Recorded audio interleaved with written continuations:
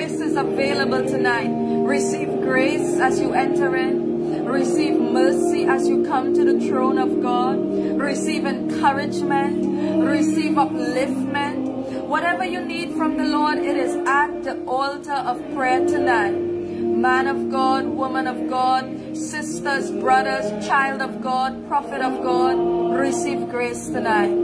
Grace is the unmerited favor of God on our lives. And that's a free gift from the Holy Spirit. I want you to receive grace. Receive grace to make it another day. Receive grace to make it through your next level, your next leg of life, your next chapter. Receive grace. Grace is at the altar. Receive grace. Do you need grace for sons and daughters tonight? Begin to receive grace on their behalf. Grace has come. Grace has come. It is the anointing of God that cleans up a man and transforms his life. Grace has come. Grace. Grace comes to lift the heavy burdens and break the yokes and set the captives free. Oh, Sata Karabaka Sata. I know what I'm telling you. Grace is at the altar. Grace is being released into your house tonight. Grace is being released over your sons, your daughters. It doesn't matter how deep you have fallen into a pit. Grace will lift you up.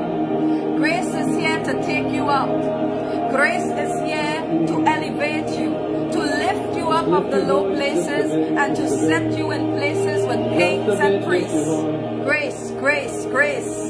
Grace is here. There are so many angels being released right now in this atmosphere. I see angels released, being entering into your houses of prayer.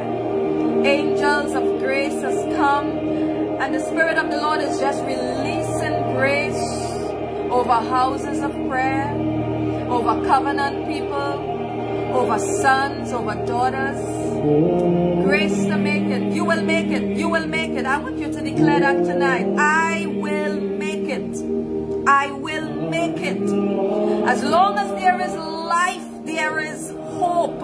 I came to give someone hope tonight to let you know you will make it. You will make it through another day. You will make it through another week. You will make it through another month. You will make it because the people of God are praying for you.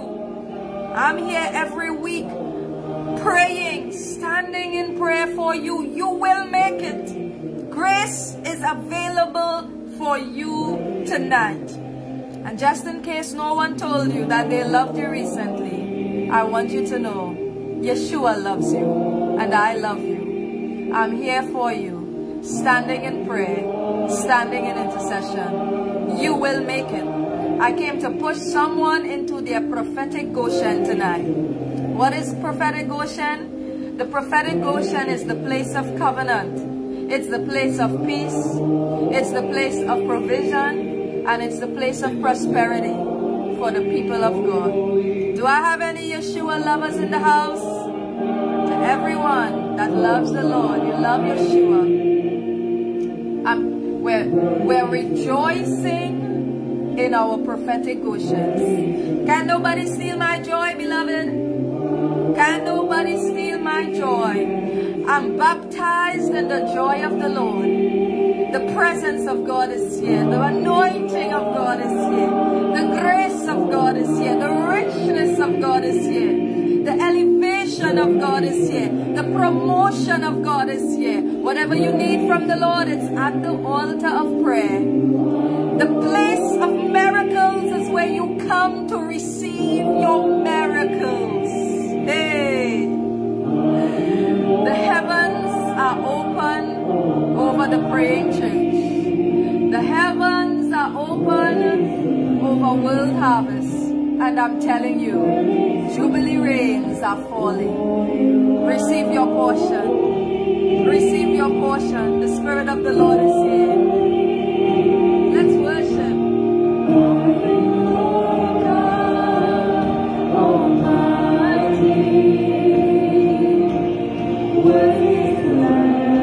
This is prophetic insights, and I've got the word of the Lord coming to you.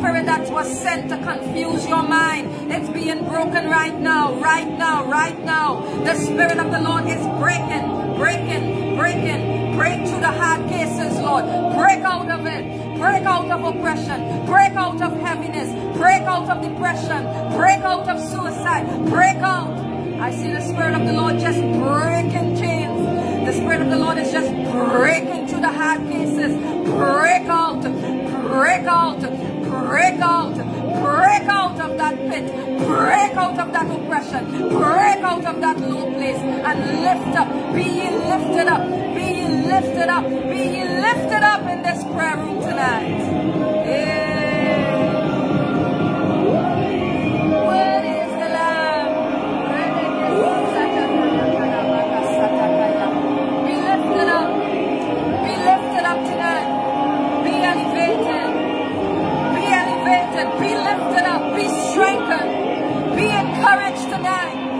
Yeshua is fighting your battles.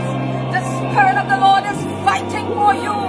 The Spirit of the Lord is lifting you up. I see chains breaking. I see bondages breaking. I hear the sound, the mighty sound of the lion of the tribe of Judah is roaring over the saints. Receive your lifting. Receive your rising. Receive your upliftment. Strength. Strength. Has come tonight. Hey, Satakarabakasata. Do something new tonight for your people, Lord. Break the yokes. Break the yokes. Break the chains. Break limited beliefs. Break the mindsets. Break strongholds. Break every chain. Set the captives free. Set the captives free. Set them free, Lord. The power of the blood.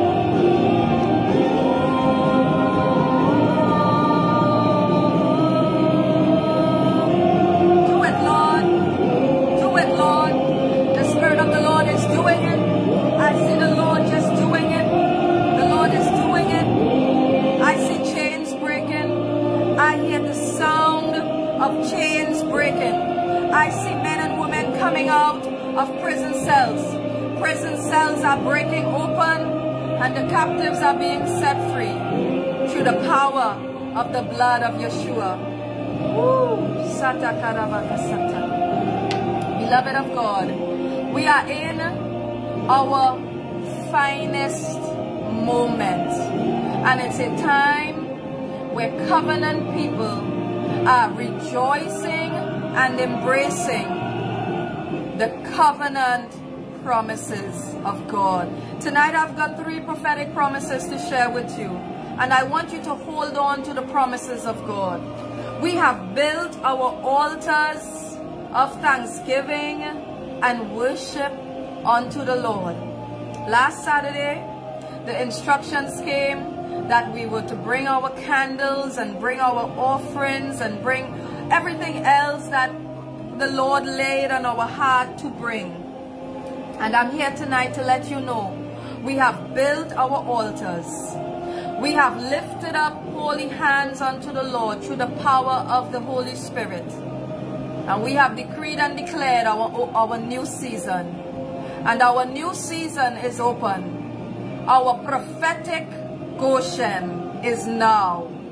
We are living in our prophetic uh, Goshen. The season is open and it's happening right now. What is your prophetic Goshen? Your, your Goshen represents a place of comfort and plenty. Comfort and plenty. I want someone to write that down. My prophetic Goshen is my place of comfort and plenty. Comfort and plenty.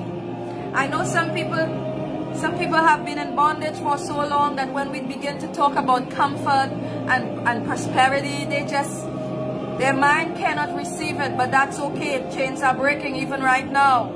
But for the covenant people that understand how God blesses the righteous, you're coming into a place of comfort and plenty. Comfort and plenty.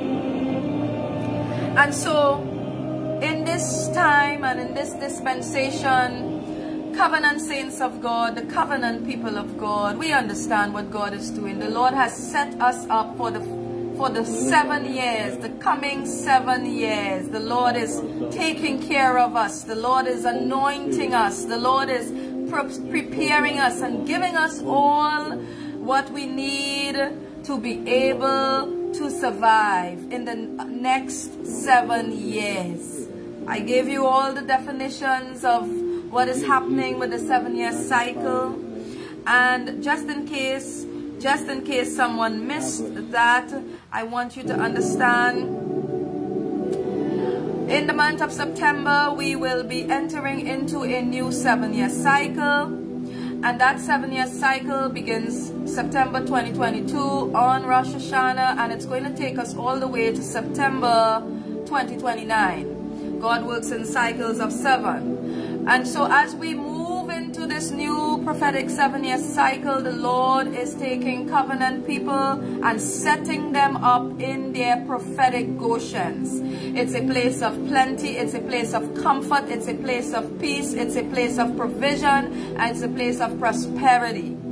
Covenant people should never make an apology for, uh, for their prophetic Goshen. You, you cannot try to dumb it down. You just have to celebrate God's goodness and his mercy and his favor towards you in your prophetic Goshen. It's part of your covenant inheritance. So tonight I have three prophetic promises that you can begin to expect as you begin to advance into this new season of your life three prophetic promises. That's the insight. That's the prophetic insight coming to you tonight. Number one, prophetic promise number one. You are going to live a drama-free life. A drama-free life. That's prophetic promise number one. Now, for some people, some people may understand this and some people just may not be able to get it. But for, for people that understand what it means to be in a place of peace and shalom, and then have that place of peace disturbed, you will understand the value of this promise. This is a peace that is going to surpass your understanding. This is a peace that covenant people need in order to be able to complete their end time assignments. You need the peace of God. You need the peace of the Messiah that surpasses all understanding. It's, a, it's called, and I like to call it, a drama-free life. You're coming into a season where the Lord is sending you into your prophetic Goshen, and it's going to be a place, a drama-free life. Remember, you fought all your battles to get to this place. You went through hardships. You went through trials. You went through tribulations. You went through ups, through downs, through challenges, through the storms of life. And now that you are in this prophetic Goshen, the last thing you need is contentious people around you. The last thing you need is confusion and contention and, and the spirit of bacchanalia in your prophetic Goshen. So as I was praying concerning the promises of God in our prophetic Goshen, this is what the Lord said. You are coming into a place where you are going to live a drama-free life. Now, now, if you are the person that is makes the drama and you are the Confucius person, your hour of deliverance has come. Just in case you are the contentious one. Okay? But I believe I'm talking to God-fearing holy men and holy women of God. Alright? So, this is the season that the Lord is bringing you into your prophetic Goshen and He's leaving the confusion makers outside. Someone write that down. He is leaving the confusion and contention makers outside. Because in the promises of God, one of the major promises of God to covenant people, right, is peace. What are the promises of God? Righteousness, peace, and joy in the Holy Ghost. Someone write that down. Righteousness, peace, and joy in the Holy Ghost. That's the kingdom of God, right? And so in the inside of this prophetic Goshen, we're inside of our we are inside of our prophetic places now. We're on the mountain of Goshen. We are Goshen people around here. We are people that are, are dwelling richly in righteousness, peace, and joy in the Holy Ghost because that is the kingdom of God. So if you are a drama maker, a confusion maker, a contention maker, the, the, your placement is not in the Goshen. So people of God, under the sound of my voice, I want you to understand your next level your next level in life, this chapter of your life, the, these upcoming seven years, the Lord wants you to understand you are, you are to live a drama-free life. What kind of life? A drama-free life. I got peace when I wake up. I got peace when I move about my day. And I got peace when I lay down at night. Don't you be bringing no contention around me.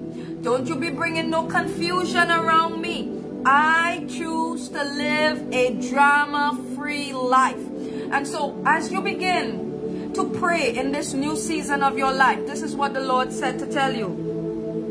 Begin to bind the spirit that is released to steal your peace. Because this is one of the strategies of the devil in the last days against the covenant people. He cannot really throw you off of focus. He cannot really steal your blessings unless you open a, a door. But we are protective around here.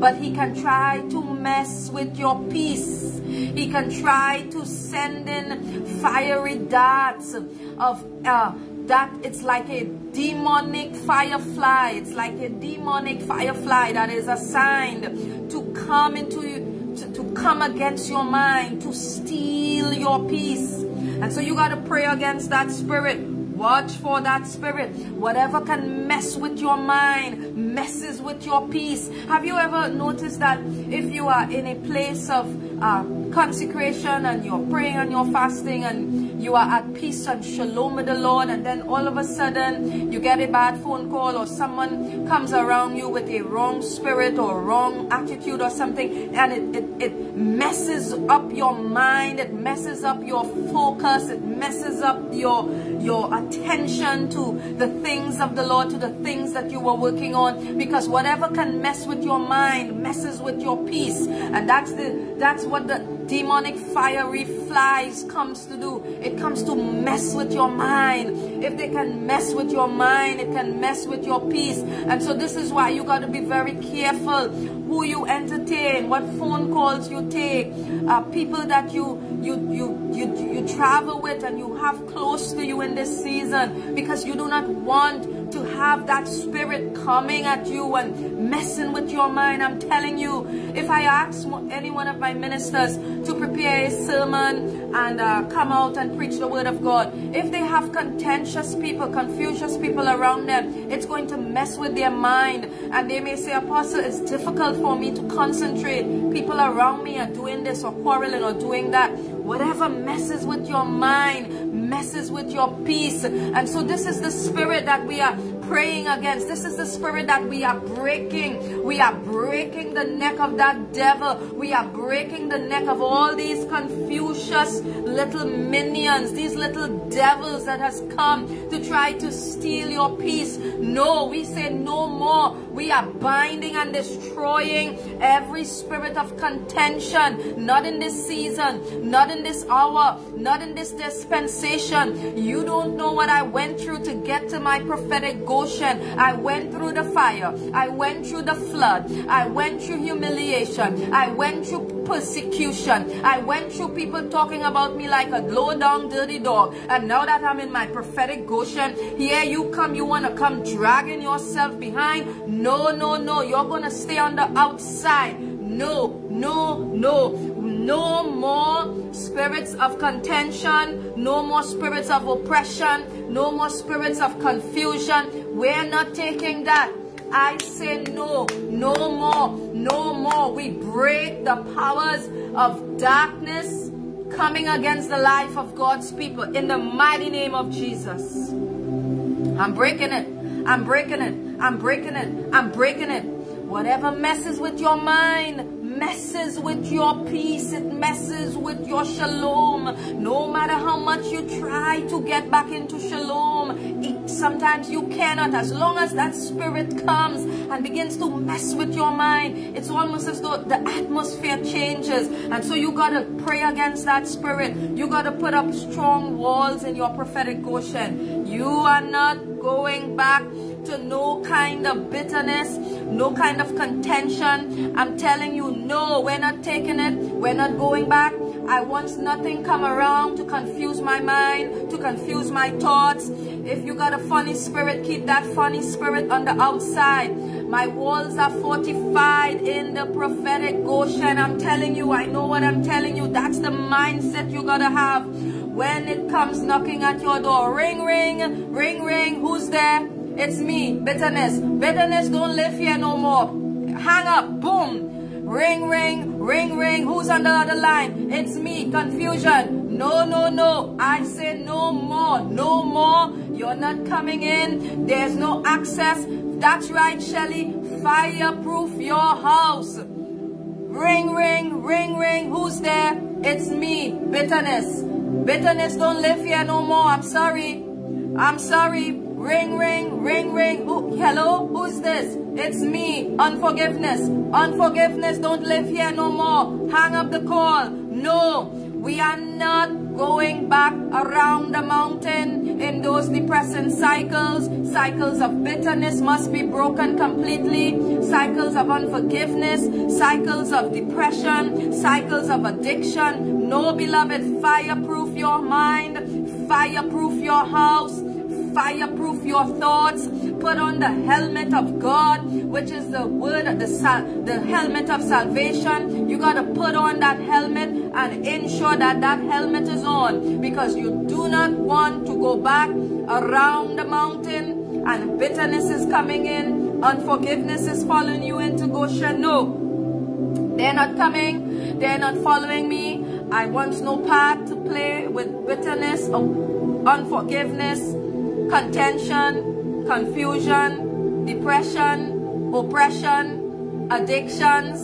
No, no, no. You're not following. There's no room in the house for you. So you've got to purpose in your heart not to allow the devil to steal your peace. Right? You, you, you are choosing to live a drama-free life. This is your first prophetic promise. You're going to live a drama-free life. And I do have a portion of scripture that I want to bless you with. Philippians 4, 6 and 7. Be careful for nothing. So you understand now? You got to be careful for nothing because there are some there are some devils, they just hate to see covenant people happy. Because they are down and oppressed and depressed, they're going to come, they're going to try to come to see how best they can steal your joy and steal your peace. But I'm sorry. I'm sorry. Be careful for nothing. Be careful for nothing. But in everything, by prayer and supplication, with thanksgiving, let your requests be made known unto God. And the peace of God, which passes all understanding, shall keep your hearts and your minds through our Lord Yeshua. So that's a very powerful portion of scripture and it's going to help you to guard your mind, guard your thoughts, and guard your life in this new season. Do you know, I know of some people, they have everything in life, they're very blessed. And when they lay down at night, they cannot sleep because they are tormented by tormenting devils that come to steal their peace. That's a spirit, that's a devil, and that's it. That's bondage. So in this place of prophetic Goshen, right? We we have peace, we have provision, we have prosperity. And so we've got to protect it because you want to be able to enjoy your blessings. You got to be able to enjoy uh, your season, your new season of life. So I'm choosing to live a drama-free life. I'm choosing to live a drama-free life. That's the promise of God, a drama-free life. And I can guarantee you, the older woman, elder woman, uh, the mothers of Zion, um, the more mature people of God will understand the importance of living a drama-free life. Younger people, I tend to find that sometimes younger people love drama because they like attention, they like to be the center of attraction, with confusion and drama. But if you're a young person, I'm encouraging you. Lay hold of this promise tonight. Live a drama-free life. It preserves your youth. It preserves your body. Your mind is just at rest and at peace. You're in shalom. Most of the time, shalom is all around you.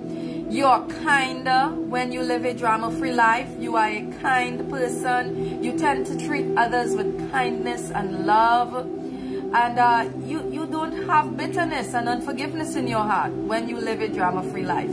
Okay? So for the younger folks, I'm encouraging you. Live a drama-free life. For the more mature people, you already know this is gold, right? This is like gold. Living a drama-free life is gold. It's gold that no money can buy. It's gold that no earthly money can buy. No earthly money can buy you a drama-free life. It's only the Spirit of the Lord. That's why the Bible says righteousness, peace, and joy in the Holy Ghost. That is the kingdom of God. So tonight I release the prophetic promise of shalom into your life. I just release drama-free living into your life. I release that anointing to live in the peace of the Messiah. I release that anointing. I release that anointing over your home, over your spouse. I decree over your life a drama-free life with your spouse. I speak shalom into your marriage, that there will be no confusion in the marriage, no contention, no arguments. It's a demon. It's a demon. I'm telling you, it's a devil. I just bind every spirit, every little minion spirit, every little midget spirit that has been assigned to your marriage to bring contention and confusion. I break it now. I break it, I break it, I break it, I break the neck of it now In the mighty name of our Lord Yeshua.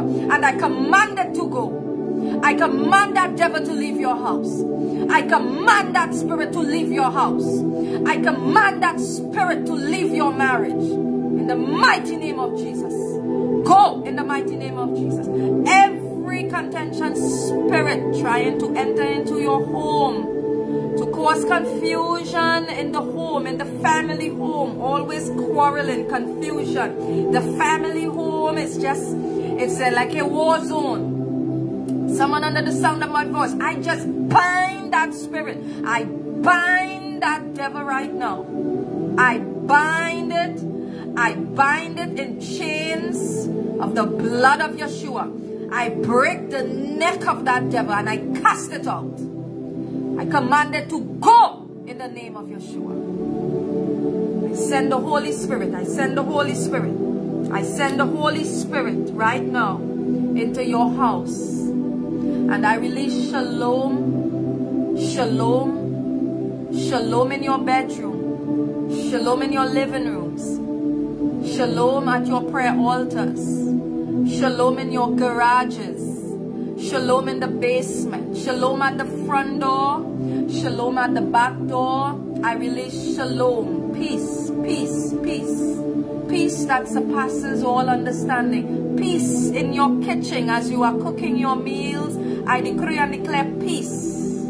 Peace that surpasses all understanding be released on your life now. Peace peace that surpasses all understanding.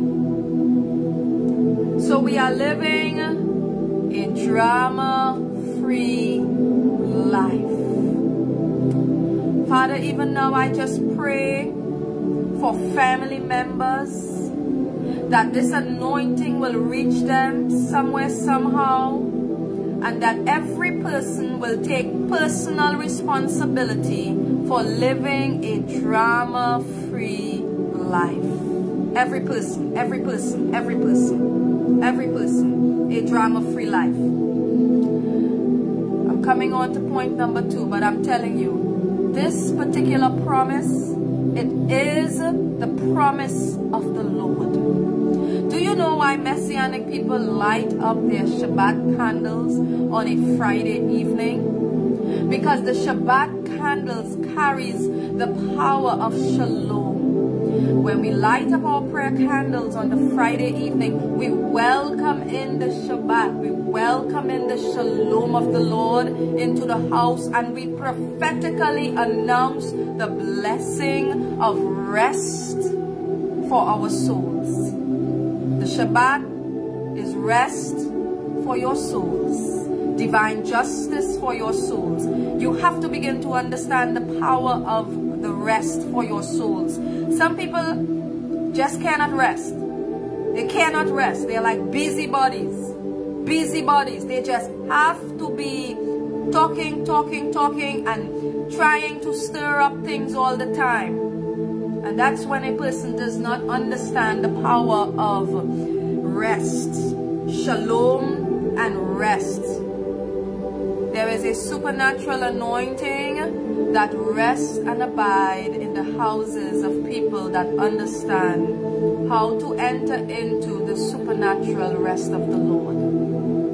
Alright? And so God worked on six days and he rested on the seventh day because he understood that if he was going to work, work, work, work, work, tire out himself, he was going to become an angry God. That's just my take on it when you're working, working, working, busying, busying, busying yourself, always doing, doing, doing, and there's no time for divine justice for your souls, you are unable to process things in life, and uh, you know, sometimes things just get out of hand. So peace has come. It's a peace that surpasses all understanding. It's the shalom of God in this place of your prophetic Goshen you're going to become a peaceful woman. You're going to become a peaceful man. People are going to look at you and they're going to say, wow, you are so different now. Or they may say, every time I talk to you, I feel peace.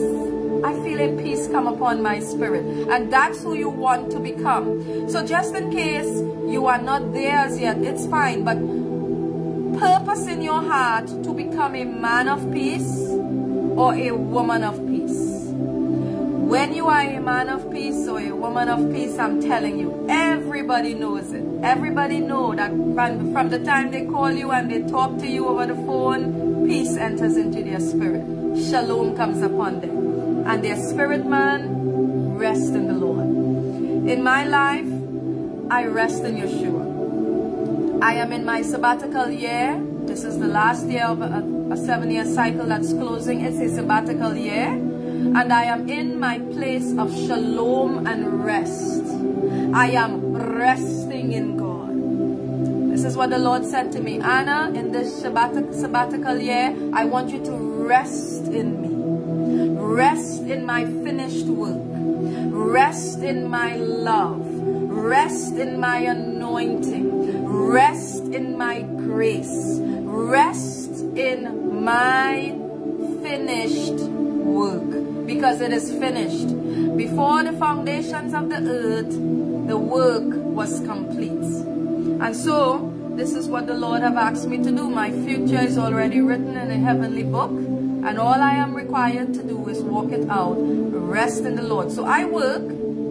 I do my work. I labor for the Lord. But I labor from a rested place in God. From a rested place. From a seated place. We are seated in heavenly places with the Messiah. Kingdom people, do I got any kingdom people in the house? I want you to say, I am a woman of shalom. If you're a man, I want you to declare that on your life. I am a man of shalom. Shalom. Shalom. Decree and declare that. I'm a man of shalom. I'm a, or I'm a woman of shalom. Yeah, and that, bring, that brings me to prophetic promise number two. I'm giving you prophetic promise number two. But that one, that was the one of the major promises. One of the major promises. I'm a woman of shalom. Prophetic promise number two is coming in. I agree with you, Sherry. I agree with you, Minister Junet. I agree with you, Glennis, a woman of shalom. I agree with you, Patricia. You're a woman of shalom. Eleanor, I agree. Pastor Merlin, I agree with you. Pastor Cheryl, I agree. Kathy, I agree. Minister Listra, I agree. I'm coming into agreement with your declarations. Roseanne, I agree. Kathleen, I agree. Diane, I agree with you. Gail, I'm agreeing with you. Rochelle, I agree with you. Camille, I agree with you. You're a woman of shalom. Wickham, I agree with you. You are a woman of shalom. Minister LaShawn, I agree with you. I agree with you. Abdiel, you're a man of shalom. I agree with you. You're a man of shalom. Shalom. Wherever you go, Abdiel, shalom will begin to flow out of your spirit because that's the Jew, that's what the Jewish men bring. They bring shalom everywhere they go. So you're a man of shalom. Janet, you're a woman of shalom. Shanti, you're a woman of shalom. Lizar, you're a woman of shalom. Shalom, that shalom. People will feel it. People will sense it. They will know that something different is on your life. They may not be able to explain it, but they will know that when they enter into your presence, there is something different about your life. Shalom. Shelly, you're a woman of shalom. Chandra, you're a woman of shalom. Diane, your husband, Yemen. Raleigh is a man of shalom. That's right. Adele and Veronica, you're people of shalom. Laura Ann, you're a woman of shalom. As you are writing those declarations, something is breaking off of your life, off of your past, off of your house, and shalom is entering in. We are setting up our prophetic Goshens according to the prophetic promise. You got to set up your Goshen. You got to set up your structures with prophetic decrees.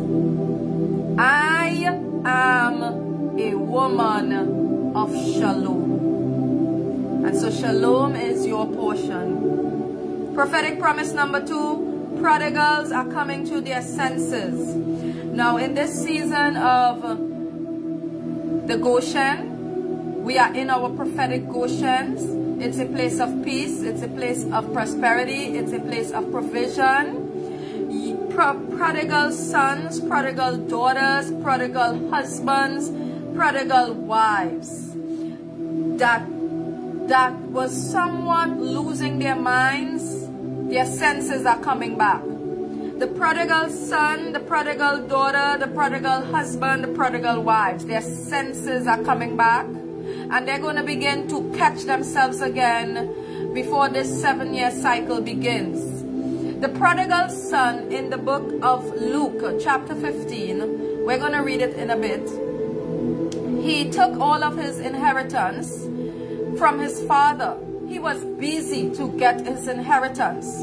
And he said, Dad, I need my inheritance. I'm ready to go. I'm ready to make a move. Give me my portion. And the father being so, so loving to his son, he said, okay, he divided up the property. He gave one son half and he gave the other son his uh, half of the property. The prodigal son sold his portion, took all the money and left the father's covering and uh, went out into some other part of um, some other place.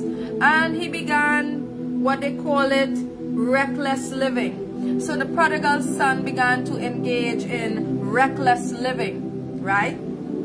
Thank you, Minister Parisia. Your computer is down, so you can't put up the scriptures. Okay, thank you so much. Well, Abdiel is here. I'm sure Abdiel could put up that scripture for me.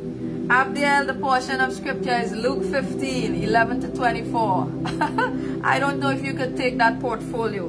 But the portion of scripture for the prodigal son is Luke chapter 15, 11 to, 11 to 24. So, the prodigal son took all the money, took all the inheritance, and he began to engage in reckless living, right?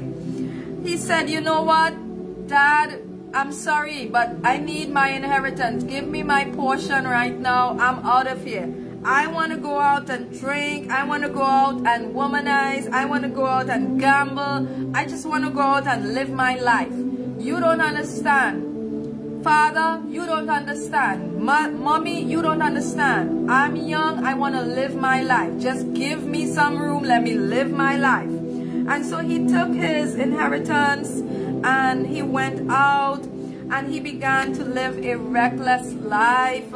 And he got himself into a lot of trouble uh, until the point that he ended up having to go and work for a man in um, someone who was rich in the pigs in the pig dens. So the man sent him to work in the pig dens in the pigsties and he became so hungry. He had no money, he had no food. And the, poor, the Bible says he was so hungry that he felt like he could eat the pig's food because he was so hungry. And um, it is in that moment that he was hungry and he was suffering and struggling. Oh, there you go. Thank you so much, Abdiel. Well done. Receive your promotion tonight, Abdiel. Blessings upon you. Something has happened on your life. Receive it. A man of shalom has given us the word of God tonight. Luke chapter 15, 11 to 24. So it's on the screen. So I'm telling you, in the pigs, in the pig's den, he was so hungry. Minister Parisia, you helped him. That's what a mommy is there for. so in the pig's den, um, he was so hungry. He said, I, I think I could eat the pig's food. And it is in that low place in his life that he came to himself. And he said, you know what? I am sure my father is eating well. I'm sure the servants in my father's house is eating better than me. Why am I in this low place? I should be under my father's covering. I should be back at my father's home, working for my dad, helping my dad. What am I doing? What am I thinking? Why did I bring myself to this low place? Why did I go, why did I take myself out of the covering? Why did I go back to drinking? Why did I go back to womanizing? Why did I go back to smoking, gambling, the pleasures of life? Why am I committing adultery? What's wrong with me? Why did I curse my wife out? Why did I curse my, my husband out? What's going on with me? And he came to his senses. Someone say he came to his senses. He came to his senses in the lowest place of his life. Oh, Oh, hallelujah, hallelujah. He came to his senses. And so, this is what the Bible says. And not many days after, the young son gathered all together and took his journey into a far country. I'm reading Luke chapter 15, I'm on verse 13. And there he wasted his substance with riotous living or reckless living. And he went and he spent it all. And then there came a mighty famine in the land, and he began to be in want. He went, joined himself to a citizen of that country, and he was sent to work in the fields with the swine. He was so faint and so hungry that he felt that he could eat the husk that was given to the swine, and no man gave him anything. This is what I want you to understand. People of God, you got to hear the word of the Lord now. In this prophetic Goshen, the Lord wants to cover you and your entire household you and your sons, you and your daughters, your nieces, your nephews, your grandchildren, your, your husbands, your wife. God wants to cover the entire family because of what is coming upon the earth. There is famines that is coming. Global food shortages are coming. The stock market is shaking right now. You better brace yourself for an economic downturn, right? Storm, more of the storms, the hurricanes, tsunamis, snowstorms, earthquakes in diverse places. It's coming. And the Spirit of the Lord wants to cover the entire family. The entire family got to be covered. And so this is what happened to the prodigal son. He said, listen, a famine is coming. I'm just uh, quoting it now. A famine is coming. I'm out of my father's covering. I pull myself out. Now I'm hungry. There is no word. There is no anointing on me. There is nothing. No one to strengthen me. No one to uplift me. No one to give me anything. This is what the Bible says. No one gave him anything. And he came to his senses. He woke up one day and he, re he realized, wait a minute. I was playing the fool. I was cursing the very hand that feeds me. I was I was coming against the very one that loved me. I was coming against the very one that protects me. I was coming against my auntie. I was coming against my uncle. I was coming against my wife. For what? For what? Why was I doing this? I was coming against my, my mother. Why was I doing this? It's a spirit. It's a spirit that is assigned to break the family apart. But I'm here tonight to let you know the Spirit of the Lord is breaking that curse. The Spirit of the Lord is breaking that curse against your life, against your son, against your daughter, against your spouse. The Spirit of the Lord is breaking the strongholds and the prodigals is coming back to their senses. And so he said, you know what? I'm going to go back to my father's house and I'm going to ask him for forgiveness. Verse 17. And when he came to his senses, he said, Look at how many hired servants are in my father's house and they have bread to eat enough to spare and I am perishing here with hunger. What in the world was wrong with me? Everything I need was at my father's house. Everything I need is under the covering. Everything I need is in the prophetic Goshen. Where am I going? I'm going to go back and ask for my father's forgiveness. And I'm going to ask him to forgive me and to take me in again. And listen to this. This word is for you. Mothers, fathers, wives, if your husbands are being mean to you. Um, this is what the Lord wants you to do. The Lord wants you to have mercy and give compassion and receive them back again. Receive them back with greater love. This is what happened. When he came back and his father saw him, his father said, bring the best robe and put it on him. put a ring on his hand, put shoes on his feet, kill the fatted calf, and let us eat and be merry, because my son was once dead, but now he is alive. And this is something to have a feast all, all for.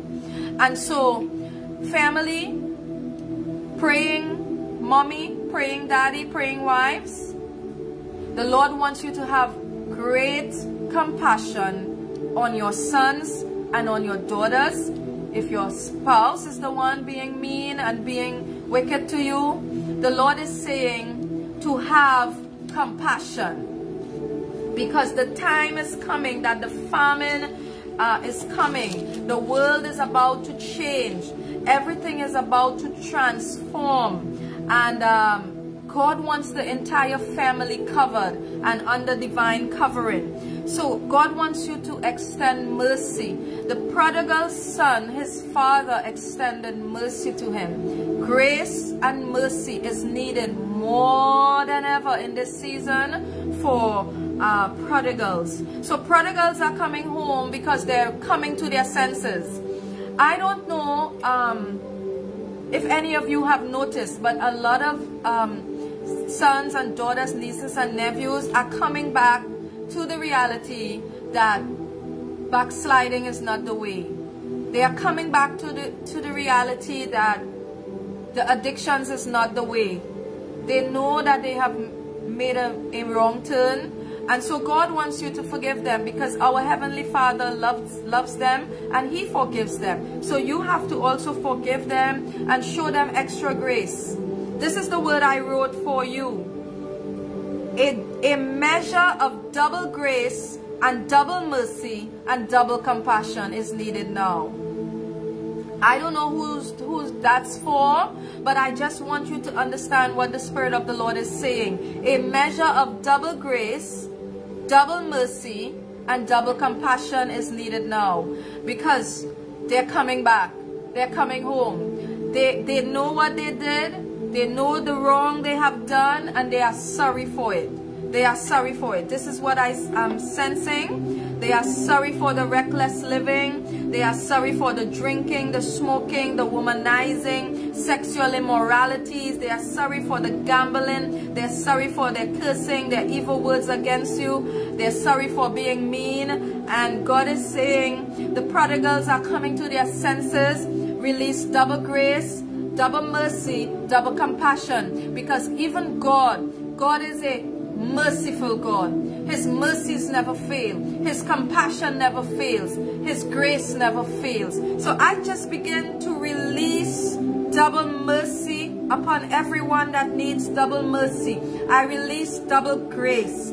I release double compassion. Even right now, double grace is released. Double mercy is released. Double compassion is released in the mighty name of Jesus. Receive it, receive it, receive it. Double mercy, double grace, double compassion. Double mercy, double grace, double compassion. I release that on your life even now to deal with your hard cases and your cases are going are not going to be hard anymore because you are in your prophetic Goshen. And the Lord is going to give you the grace to deal with the people that you love the most and that are closest to you. Because the father the prodigal son's father really loved him. And the prodigal son's father was so happy that his son came to his senses. That he said, kill the fattest calf, put a robe on him, put a ring on his finger, put shoes on his feet, and let's have a feast.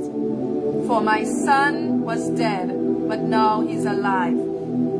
So I'll tell you this, as a mother, I can tell you a lot of grace. I release a lot of grace and a lot of mercy to my children because as parents, we all want to see them uh, enjoying the blessings of God and living in the prophetic Goshen of the Lord, just as we are living in the prophetic Goshen. So I want you to always remember, just as God is a good, good Father and He releases mercy to us when we needed mercy, so too he releases that mercy uh, to sons and daughters, nieces and nephews, even your spouses, right?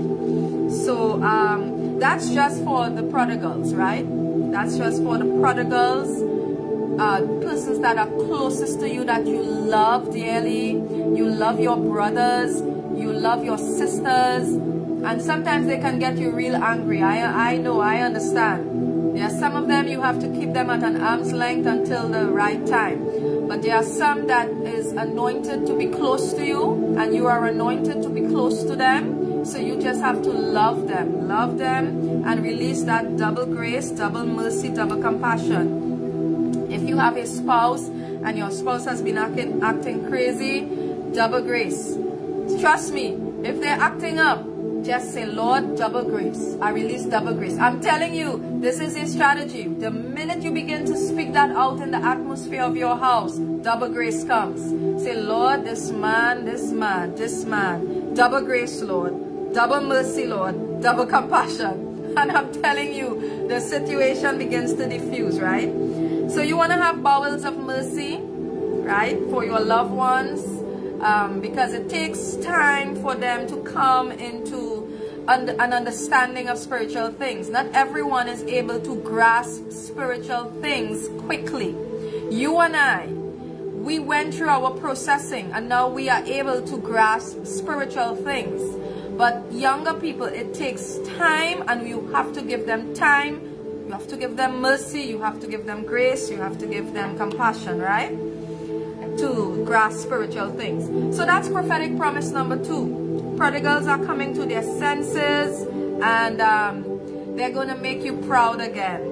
Your daughters are going to make you proud. Your sons are going to make you proud. Shelly, your son is going to make you proud. I'm praying for you. I'm standing in prayer for Ronald. God is doing a total transformation on his life.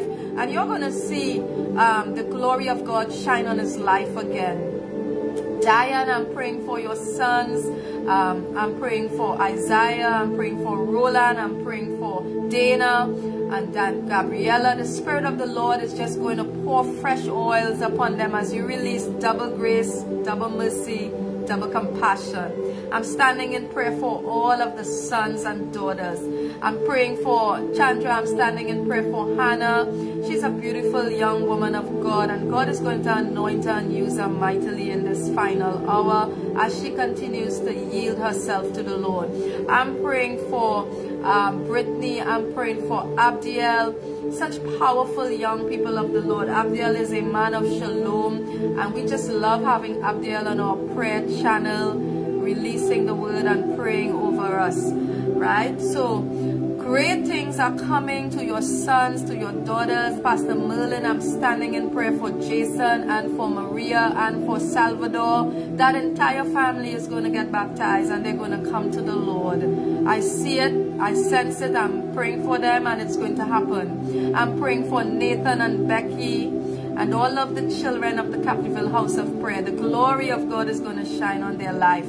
I'm praying for Jason and Shanaza and all of the uh, Uchichi, I'm praying for you, Chichi, and all of the younger ones at the Mova House of Prayer. I'm standing in prayer for you, for your children. I can guarantee you, if you're in the prophetic Goshen, your sons and daughters are also in the prophetic Goshen. Sometimes it looks like they're not going to be in the prophetic Goshen. But I just came on tonight to encourage someone to let you know your sons and your daughters, they are going to be in the prophetic Goshen. Your nieces and your nephews, they are going to be in the prophetic Goshen. If you're in the prophetic Goshen, are in the prophetic Goshen also. Princess Down, I'm praying for all of your sons. I'm praying for Kyle. I'm praying for uh, Karen. I'm praying for all of the other sons. I'm praying for um, uh, her name just passed up. Roseanne, Roseanne and Ashana, I'm praying for you. I'm praying for Dwight. I'm praying for Giselle. I'm praying for Tyrese. If you are in the prophetic Goshen, all of your family members are going to be in the prophetic Goshen. I know what I'm telling you. Pastor Cheryl, I'm praying for your sons and your daughters. I'm praying for Nika. I'm praying for Makita. I'm praying for Mr. Logie. I'm praying for Willis and Sharice and the baby that we christened. Come on. Come on, saints of God. Get real. You are in the prophetic Goshen. All of your children are going to be in the prophetic Goshen. All of the people you love is going to be in the prophetic Goshen. I know what I'm telling you. We, we're cutting off. We're, cut, we're cutting off what we need to cut off, but we're bringing in what we need to bring in um, Barrackpore House of Prayer. I'm covering you and all of those lovely children in the Barrackpore House of Prayer under John and Patricia, the nieces, the nephews, uh, uh, Jaylee and Jaron and, and Neela, all of the family members in the Barrackpore House of Prayer. I am praying for you. There's going to be a big baptism at your house as we continue to call in the souls. I'm standing in the gap for you. I'm standing in prayer for your spouses. I'm standing in prayer. I'm praying for New York House of Prayer. All of the family members in New York House of Prayer. Uncle Wade, Alea, uh, Deborah, and everyone else under the under the covering, under the umbrella of the New York House of Prayer. Sherry Ann and Sheldon and all of the family members that send their thanksgiving offerings on the altar. I'm covering you in prayer. And listen, kicking or screaming, you're going to be under the prophetic Goshen. You're not coming out. I said you're not coming out. I am decreeing and declaring you and your household will be in under the covering of the prophetic Goshen. Your seed is speaking on the altars. Your seed is in the courts of heaven speaking on your behalf your thanksgiving, your fruits, your baskets, all of the wine, all of the oils that you sent. It is on the courts of heaven. It is in the courtroom of heaven and it is speaking on your behalf. You will have the victory. I decree and declare on your life, you will have the victory. You will have the victory. No devil in hell will be able to fight you in your own prophetic Goshens. You will have the victory. Your life will be blessed. Your homes will be blessed. Your sons and your daughters will be blessed. Hey! I'm standing in prayer for Malcolm. I'm standing in prayer for Dexter. I'm standing in prayer for Pastor Kathleen and Brendan and Destiny, Shaliza and all the children. I know what I'm telling you. You will have the victory. All of your household will be saved. The prodigals are coming to their senses. The prodigals are coming to their senses. The prodigals are coming to their senses. The power of the altar of harvest and miracles will break the yokes off of their lives. And their life is going to shine for the glory of God. Prophetic promise number three, and that's going to bring us into a close. I'm, I'm bringing us in now. I'm bringing us in. I'm bringing us in. Prophetic promise number three. Prophetic promise number three. And this is what the Lord said. Now this particular promise is just for you. This is a personal promise from the Lord for you. You, the intercessor. You, the gatekeeper. You, the prophet of God. You, the homemaker, the, the wife, the midwife. This is your promise. Prophetic promise number three in your prophetic Goshen. I am giving you personal prosperity for your welfare and comfort. Write that down. Prophetic promise number three. I am giving you personal prosperity for welfare and comfort. Ooh, sata karabaka sata. Hey sata Personal prosperity for welfare and comfort. Why is it that the Lord desires to give you personal prosperity? Because a big portion of the covenant promise of the prophetic Goshen is comfort and plenty. The prophetic Goshen represented for the children of Israel a place of comfort, a place where they were able to eat their food in plenty. There was no scarcity. There was plenty for everyone. There was enough food to eat. There was enough beverages to drink. There was an overflow. There was blessing. A pipeline of blessing was open and they were able to have comfort. Comfort. Listen.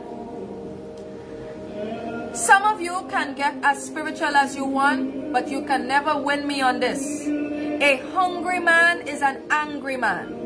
You can pray from now until tonight, but if your husband goes out and he comes home and there is no food in that house to eat and nothing in the fridge to drink, I'm telling you, all your prayers will be wasted because he's going to behave like a madman. A hungry man is an angry man. So, so there's no amount of spiritualizing, spiritualizing what I'm saying now or trying to override it by being super spiritual or going into false humility. Comfort and welfare is very important to, to, the, to a family. Comfort and welfare. Comfort and welfare. If you are living in uh, Louisiana, ask Minister Parisia, if there's a snowstorm and there, you have no heat in your house, you can freeze to death. You have no heat and you have no fireplace. You can freeze to death. You can pray from now until whenever. But if you're in a snowstorm and you do not have heat in your house, you will freeze to death. Why? Because comfort is a very important function in family life.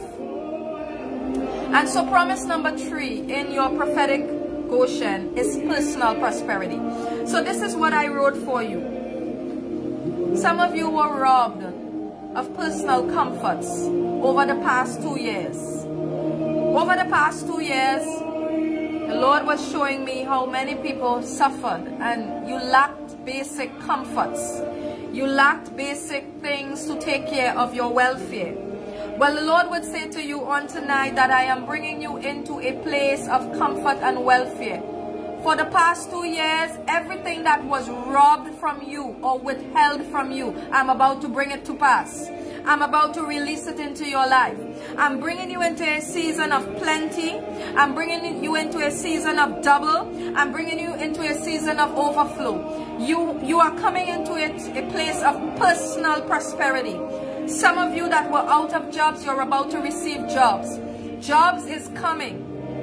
The Lord is going to bless you with the means for making that income so that you will no longer have to lack. You're not going to lack, but you're going to live in plenty. You are moving from low to overflow, from barrenness to fruitfulness, from less than enough to more than enough. You're coming into a place of plenty, of abundance, of blessings, of overflow. Joel 2 and 26. Why don't I read that portion? Joel 2, 26, right? I want to show you something here. Joel 2 and 26. Joel. Here it is. And you shall eat in plenty and be satisfied and praise the name of the Lord your God that has dwelt dealt wondrously with you, and my people will never be ashamed again. So you're about to eat in plenty.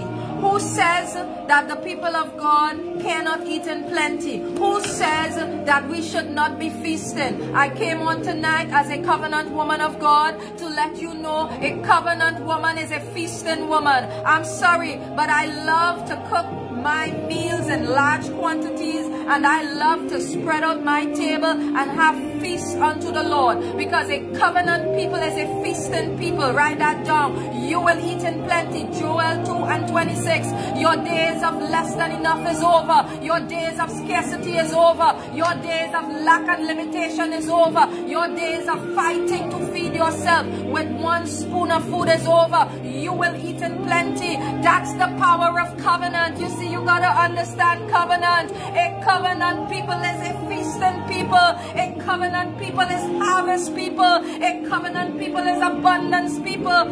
Listen, some of you, you, you, you're waiting till you go to heaven to enjoy the feast of the Lord. That's why they cannot touch the messianic people in the earth. The messianic people in the earth, we are feasting people because we understand the feast days of the Lord. Do you know what the feast days of the Lord represents? It's a divine appointment with Yeshua to receive blessings, but also to enter into joy and feasting. To enter into feasting. Feasting represents joy. That's why the feast days, the fall feast days are feast days of joy. It's prophetic days, prophetic appointments, more deems. It is more deems of joy, times of feasting, times of fellowship, times of refreshing. I want you to enter into times of fellowship fellowship. Enter into times of feasting. I release grace on your life. I release grace on your life. Grace for feasting. Grace for fellowship.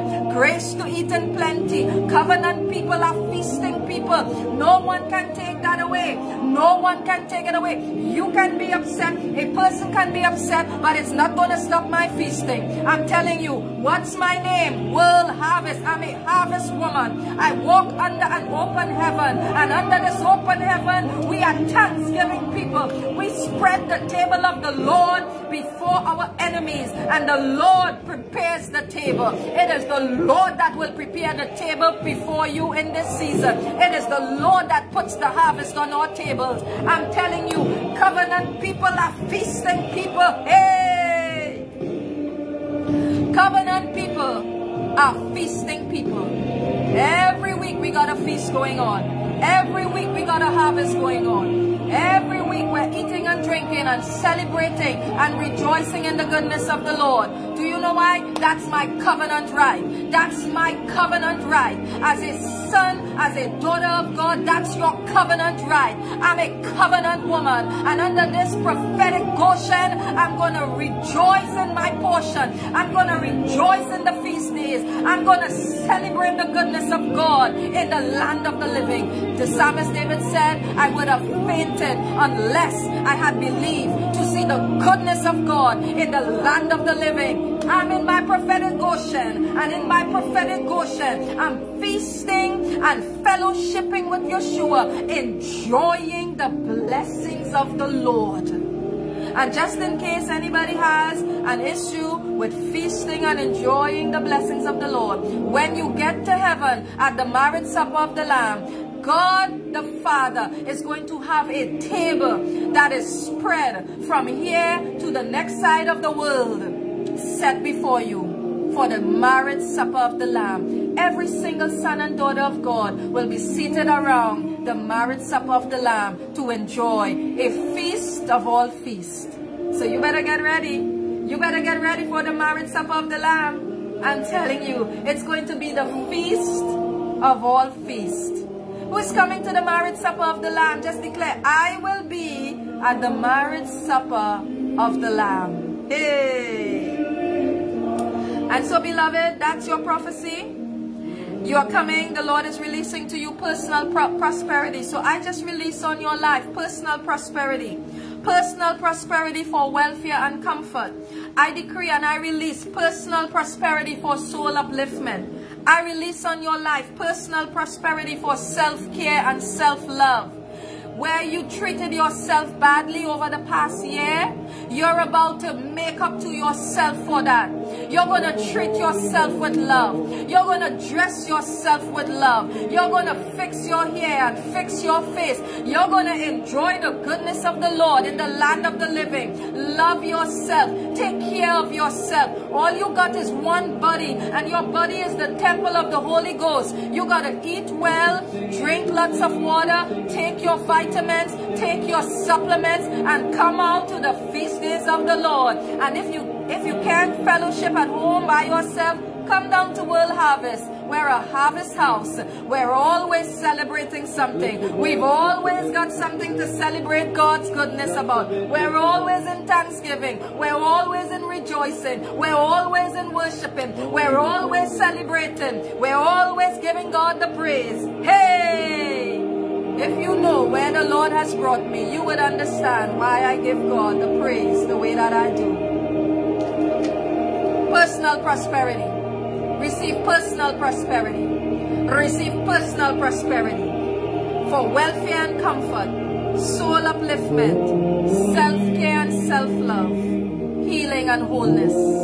receive personal prosperity. Your money will no longer be acting funny in the prophetic Goshen. All things begin to flow towards you. All blessings begin to flow towards you now. All blessings flows towards you. All abundance flows towards you. All overflow flows towards you. I decree and declare on your life the blessing of the Lord flows towards you. We're closing off.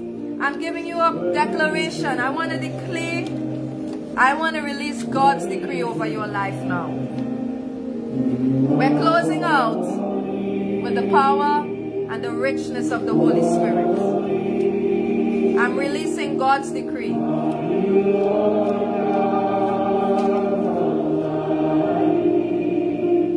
You will eat the good of the land. I decree and declare on your life, your sons and daughters, nieces and nephews will be saved.